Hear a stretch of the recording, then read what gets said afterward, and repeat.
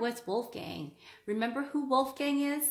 That's Mozart. His full name is Wolfgang Amadeus Mozart, and so Wolfgang is his first name.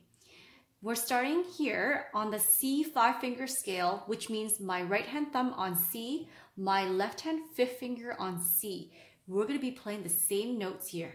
C, E, G for both hands. Follow me. Two, three,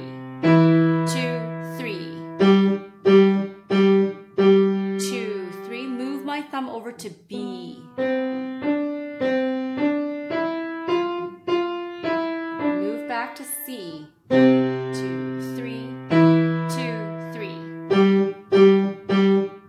Two, three, back to B.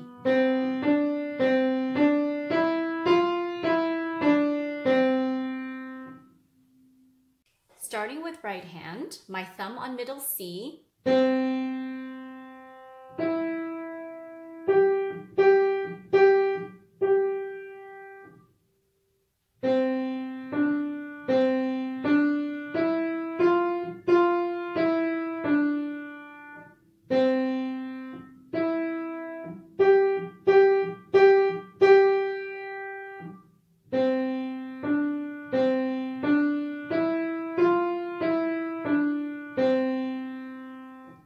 let's switch over to left hand. Five on C.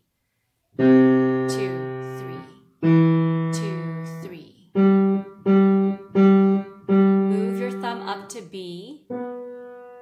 Move your five back to C. Thumb